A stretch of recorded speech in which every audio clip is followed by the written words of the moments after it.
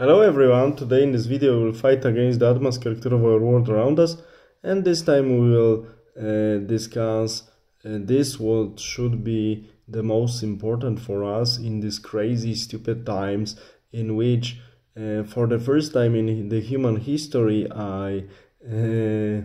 mm, I'm sure I can risk this statement first time in the human history the history we remember and the history we don't remember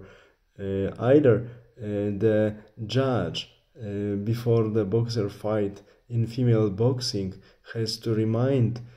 to the uh, real female boxer that hitting the testicles of the so-called female opponent is is a disqualification so we see that in these uh, crazy times of complete idiocracy, in which the propagandists started believing in their own propaganda, and majority of business people who finance this uh, propagandists and these ideologies to uh, make the society stupid and to rule them in the much more easy way also started believing in the idiocy they finance Uh, uh, to mm, keep people stupid. In these crazy times, I will repeat once more, we should take care of our own sanity. We should really be careful uh, not to allow our governments we see our, and our governments we don't see either we we should do everything not to allow them to modify our diet modify our health and we also need to secure our uh, children. So, our freedom, our children, our bedroom, and our plate. These uh, things we need to take care of and protect them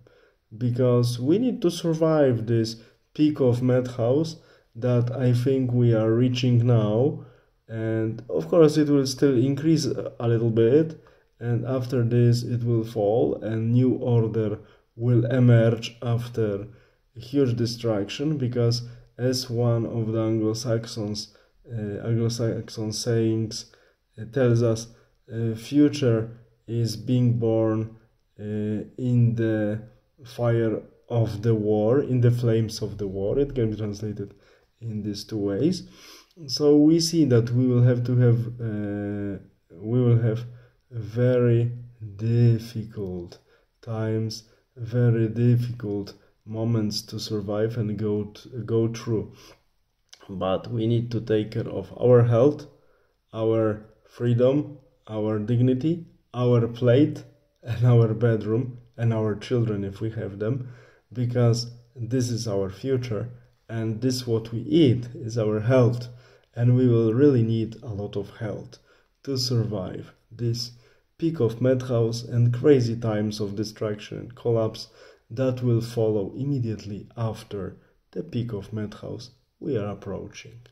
So, uh, and this is not only typical to European or Northern American countries, uh, it's also typical uh, to larger or lesser extent to majority of the world, especially the one the this part of the world which is technologically advanced. So uh, we shouldn't swallow this stupid propaganda spread by Russian or Chinese propaganda headquarters that this is war against whites or uh, whatever. No, no, no. This is simply madhouse of uh, technologically advanced societies spoiled by materialistic prosperities and uh, this uh, degeneration caused by this pro prosperity affects now equally the business political elites as well as so-called broadly understood masses. Uh, so th this is what we should take care of and we need to be strong and healthy. All the best. Have a nice day. Bye.